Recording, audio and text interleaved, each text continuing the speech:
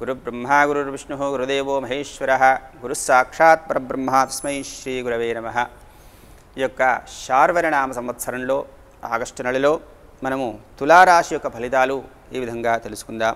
చిత్త స్వాతి విశాఖ మూడు పాదాలు కూడా తులారాశిలోకి వస్తాయి.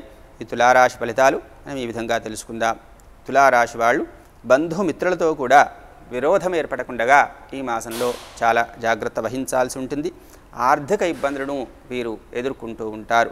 కనుక స్వల్ప అనారోగ్య బాధలు కూడా ఈ రాశి వాళ్ళకు ఉంటాయి. కనుక చాలా జాగ్రత్తగా ఉండడం అవసరం.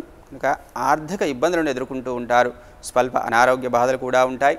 విద్యా రంగాల్లో వృత్తి వ్యాపార రంగాల్లో కూడా చాలా వరకు ఈ నెలలో ఈ మాసంలో వాళ్ళకు అభివృద్ధి ఉంటుంది. కనుక ఈ యొక్క రాశి వాళ్ళు చాలా ఆ యొక్క వ్యాపారాల్లో ఉద్యోగ వ్యాపార విషయాల్లో కూడా నూతన ఔరవాడికి ఈ విధంగా నూతన కార్యక్రమాలు ఏవైనా చేయదలుచుకుంటే ఈ మాసంలో వాళ్ళు మొదలుపెట్టుకోవచ్చు కనుక వారికి ఉద్యోగ రంగాల్లో వ్యాపార రంగాల్లో కూడా అధికమైనటువంటి లాభాలు గడించేటువంటి పరిస్థితి ఈ రాశి వాళ్ళకు ఉంటూ ఉంటుంది.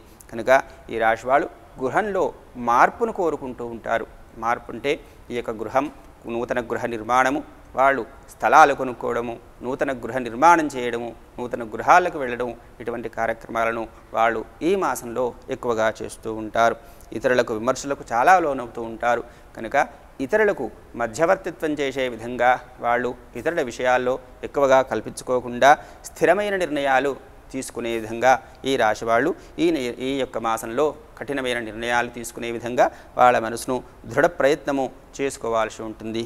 ఆకస్మికంగా ధన వ్యయం అయ్యేటువంటి ఖర్చు ధన వ్యయం ఖర్చు అయ్యేటువంటి అవకాశాలు వాళ్ళకు ఈ మాసంలో ఉన్నాయి. కనుక వాళ్ళు చాలా జాగ్రత్తగా ధనాన్ని చూస్తూ ఖర్చు పెట్టుకోకుండా ఆ అధిక ధనాన్ని వ్యయమయ్యేటువంటి పనులు చేయకుండా చాలా జాగ్రత్తగా ఉండడం అవసరము. ఆకస్మిక ధనం వెయ్యే ఖర్చు విధంగా వాళ్ళు కూడా అంగారక స్తోత్ర మంత్రాన్ని కూడా జపిస్తూ ఉంటే వీళ్ళకు రుణ బాధలు కలగకుండా ఆకస్మిక ధన వ్యయం కాకుండా ఉండేట్టుగా ఉంటూ ఉంటుంది. స్థావర జంగమాల్లో ఉద్యోగ రంగాల్లో కోరుకున్న వాళ్ళు అభివృద్ధి చాలా ఉంటుంది. ఆకస్మిక ధనలాభాన్ని కూడా పొందుతూ ఉంటారు. కుటుంబ సౌఖ్యము సంపూర్ణంగా లభిస్తూ ఉంటుంది. గౌరవ మర్యాదలు కూడా పెరుగుతాయి. సంతోషం కలిగించే కార్యాలన్నీ కూడా చేస్తూ ఉంటారు. శుభకార్యాలన్నీ కూడా ఏదైనా శుభకార్యాలు చేయాలనుకుంటే ఈ మాసంలో ఈ రాశి వాళ్ళకు చాలా గౌరవంగా సులభంగా నెరవేరుతూ ఉంటాయి. తమ శుభ్రయందువల్ల చాలా అనారోగ్య సమస్యలతో కూడా బాధపడుతూ ఉంటారు కనుక ఆ అనారోగ్య సమస్యలు లేకుండా చక్కలా చక్కగా సూర్యనగ్రహ స్తోత్ర పారాయణాల చేత శివుడికి అభిషేకాదులతో ఈ అనారోగ్య సమస్యలకు దూరంగా ఉండి ఆరోగ్యాన్ని కూడా పొందడానికి అవకాశంగా ఉంటుంది.